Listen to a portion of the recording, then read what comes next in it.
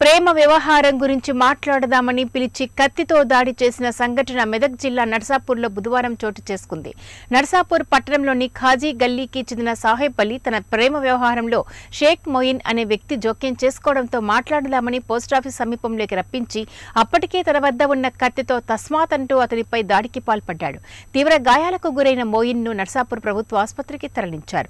ప్రాథమిక చికిత్స అనంతరం మెరుగైన వైద్యం కోసం సంగారెడ్డి ప్రభుత్వ ఆసుపత్రికి తరలించారు.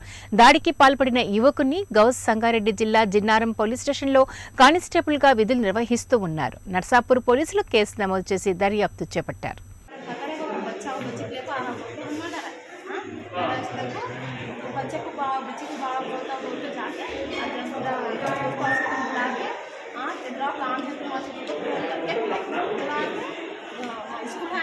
है ना स्कूल में है। स्कूल को आना उनके बाबा को जाके बोलते बोलते बुला के खोल दिया खत्म हो। बच्चे का लफड़ा यहाँ तक आया, जान के आया खाली जा दो तुम्हारे बच्चे समझा लो लफड़ा ऐसा अच्छा नहीं था जाके बोल रहे तो ये लगता